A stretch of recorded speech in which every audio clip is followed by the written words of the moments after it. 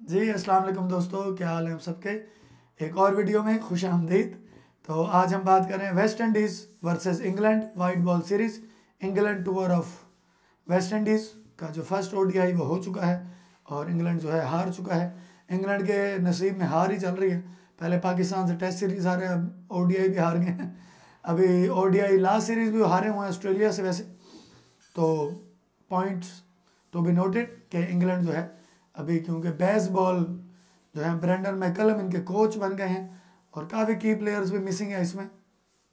Jos Buttler जो हैं, वो काफ़ इंजरी की वजह से इस दौरे से बाहर हैं और मे बी वो नेक्स्ट सीरीज़ का हिस्सा होंगे वाइट बॉल का। तो वेस्ट इंडीज़ ने टॉस जीता दोस्तों और बॉलिंग का फैसला किया। उनके अपने ग्राउंड एंटीगा में ये मैच हो रहा था और 209 स्कोर पे ऑल आउट कर दिया। अपने होम ग्राउंड बड़े स्ट्रॉन्ग है, जो है वेस्ट इंडीज़ की टीम और सिर्फ़ पैंतालीस ओवर ही हुए थे। लाइम लिविंगस्टन को जो है कप्तानी की ज़िम्मेदारी दी गई थी। नया कोच नया कप्तान। इंग्लैंड जो है 209 पे ऑल आउट इसको आपको स्कोर बता दूँ मैं। फिल सॉल्ट ने जो है अठारह स्कोर बनाए। विल जैक्स ने उन्नीस जॉर्डन कॉक्स सत्रह बीथल जो हैं, उन्होंने सत्ताईस रन बनाए। और कैप्टन साहब जो हैं लिविंगस्टन अड़तालीस रन बनाए, उनचास बॉलों पे, जिसमें दो छक्के और तीन। चौके शामिल हैं सैम करन सैंतीस।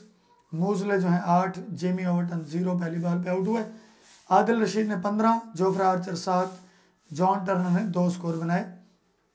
और 209 पे ऑल आउट होना यार, एक आप वाइट बॉल कहते हैं रेवोल्यूशनरी।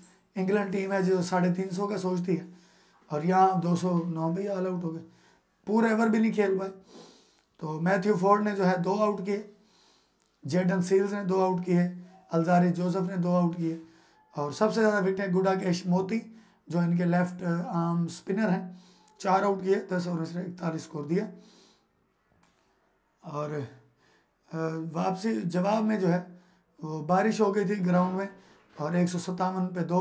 डकवर्थ लुइस के तहत वेस्ट इंडीज़ ने आठ विकेटों से ये मैच जीत लिया। पच्चीस ओवरों में एक सौ सत्तावन था।